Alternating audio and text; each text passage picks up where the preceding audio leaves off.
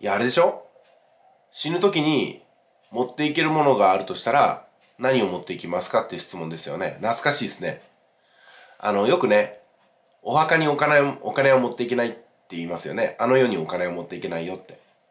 でも、もし、死ぬ時に一つだけ持っていけるものがあるとしたら何を選びますかっていうのは結構ロマンティックな質問だなと思ったんで、これも今までね、何回も答えてるんですよ。うん。で、それ、この前奥さんにも聞いたんですけども、なんか全然わかんなかったらしいんですよね。で、これを持っていこうとしてんの、あれを持っていこうとしてんの、これを持っていこうとしてんのっていろいろ言うけども、いや、全然違う。そういうもんじゃないんだよ。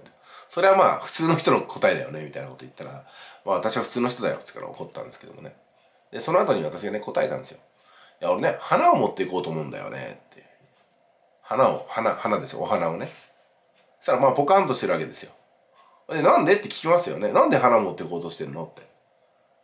うん。そしたらね、私が、あの、これ他の人にも何回か答えてるんで、あの、奥さんの前でもう一回答えたんですよ。それは何かっていうと、いや、お花を死ぬ時に持っていくでしょ？それから、私の奥さんね。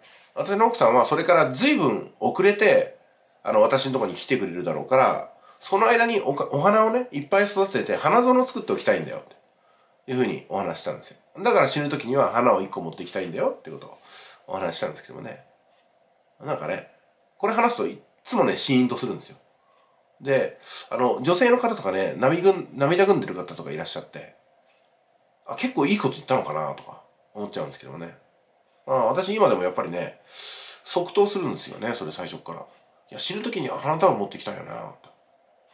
で、一人で待ってる間にお花をいっぱい育ててね、あの、花畑とか花園とかを作ってね、待っていたいなって思うんですよね。そんな感じじゃないですかね。はい。ありがとうございました。